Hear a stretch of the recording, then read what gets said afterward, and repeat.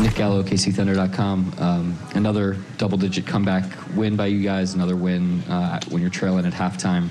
Um, what do you continue to see from this group on a nightly basis? Uh, yeah, I thought we did a really good job in the second half, um, defensively especially. Thought we really tightened the screws.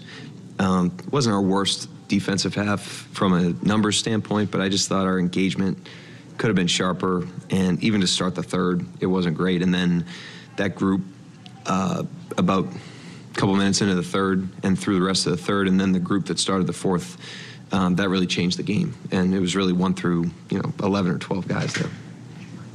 You know, Shai obviously had a had a loud night, but two plays inside the final two minutes, he comes up with loose defensive rebounds. Um, just your thoughts on kind of um, all the other ways that he impacts the game that maybe aren't quite as loud. Yeah, we scrapped on the glass uh, in the second half. I thought he was great.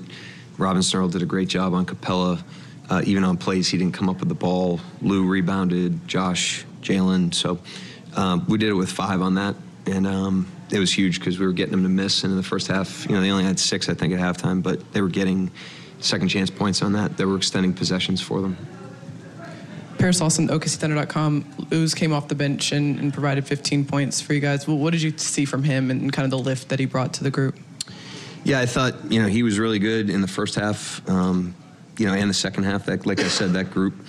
Um, I think it was him, Poku, uh, Isaiah, Shai, Aaron Wiggins, and then Muskie subbed in. You know, those guys really changed the game. We were down uh, and had a hard time stabilizing the game, and they they got the thing back into striking distance, and then that that next group that came in to start the fourth really did a good job. Mark, you guys were 15 to 15 from the foul line there in the fourth quarter. Just obviously talk about how big that is in, in a close game. Yeah, they kept scoring, you know, and they were they were kind of bombing shots in. You know, some of the scores were, you know, we did a good job and they just made a shot. And so, you know, when that's happening, you've got to protect the ball and you've got to um, make free throws. I thought that was an area where we could have improved in the Minnesota game down the stretch. Uh, was just kind of our, our poise in that situation. I thought we were better at it tonight.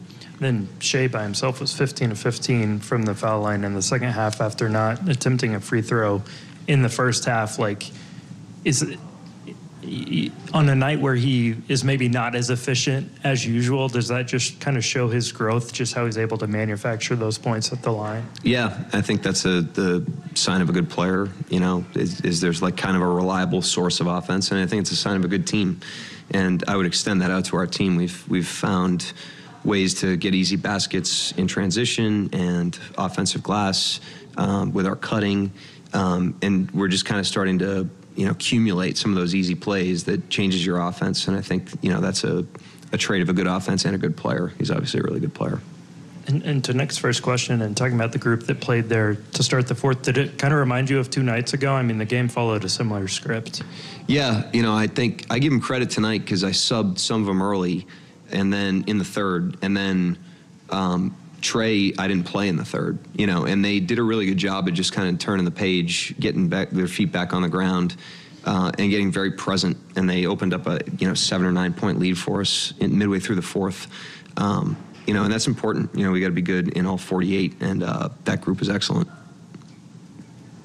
Uh, Coach, these games by Shai are becoming rather routine. Uh, is that the next? Is that the, the, the trademark of a player taking the next step from being very good to potentially being great? Um, yeah, I mean he's a, he's a great young player. Um, he's he's made the steps continuously. You know, this isn't just this year. He's improved every year he's been in the league. Uh, it's a testament to his humility. You know, he looks in the mirror on how he has to improve, and then he works at it. Um, but it's also a testament to the team. You know, like this is a, it's not just him. You know, we've got uh, a whole roster that we're excited about uh, that he enhances and that enhance him. And you know, we think we're building something where the the whole is better than the sum of the parts. He's obviously a huge part of that, um, but it's not limited to him either. Are you starting to feel more and more comfortable with your bench? As you said, one through eleven tonight had a factor in this game.